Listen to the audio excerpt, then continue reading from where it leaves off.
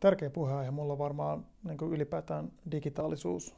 Se, että miten digitaalisuus on niin kuin täysin alihyödynnetty resurssi suuremmassa osassa yrityksissä, yrityksistä. Ja just esimerkiksi se, että ihan joka firmalla pitää olla verkkokauppa.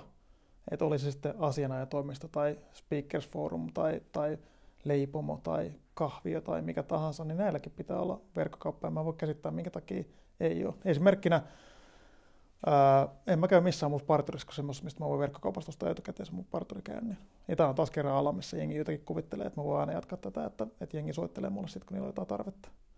Sitten toinen on se, että, että minähän hoidan markkinoinnin varustelekassa.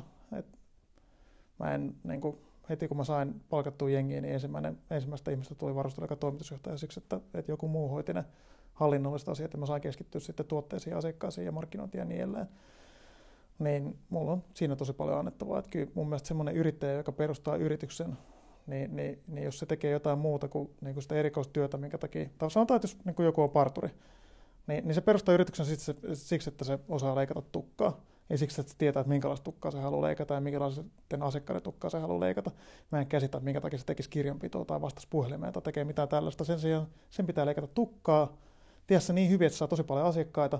Sitten sen pitää löytää joku toinen ihminen, joka leikkaa tukkaa samalla lailla kuin se ja löytää sille lisää asiakkaita. Ja sitten yhtäkkiä sen ei tarvitsekaan leikata tukkaa ollenkaan, vaan sillä on franchising ketju, joka kattaa koko Suomen. Ja, ja tota, sitten tietysti se, että, että suurin osa varustelijoiden Facebook-postauksista esimerkiksi on mun kirjoittamia. Ja, ja mulla on tästä hirveän paljon sanottavaa, että suurin osa suomalaisista yrityksistä ensinnäkin ei käytä somea, niin kuin, ei, ei käytä somea tarpeeksi, ja sitten toisaalta jos ne käyttää, niin ne käyttää sitä hirveän usein väärin.